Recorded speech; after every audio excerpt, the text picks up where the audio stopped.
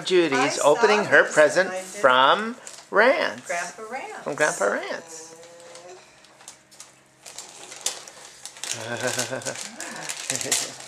Oh, here's another one to Judy. Oh my. and there's Rance opening up our present. I'm, I'm assembling. Oh, assembling it. Assembling. Ah. Very nice. Good job. Looks like you're doing a great job. Save.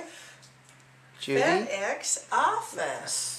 Wow. That's a box. And I'm looking. I'm looking. Gloves. Oh my Wow. God. I, I go through gardening gloves so fast. Honey. Thank you. You're welcome. You're And I welcome, Mary. love the specialty wrapping and the FedEx box. Oh, Okay, No, I go through garden gloves really I know, I know, and, Those are nice. Yeah. you, you really need them, I gardening gloves, because you do so much hard work. Oh, right. I'm always gardening without my gloves.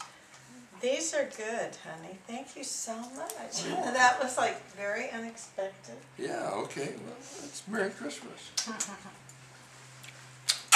All right, and now I get two in a row. Ooh, look at them.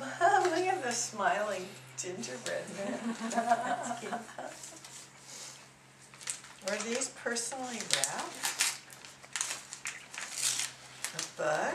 But you never know, you know, whether, it's, just- it's hard, it's a kind of a mystery. The elves, the oh, elves. Exactly. Oh,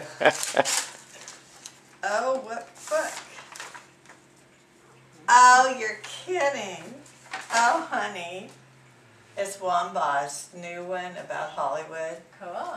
Honey, thank you. I, I wanted to go buy that and then I thought it was too, that was a luxury. yeah, well, I thought you would really enjoy it. I thought you would enjoy it, and then Allison would enjoy it, and And Andrew would enjoy would it. enjoy it. Wow. Maybe that I could enjoy it.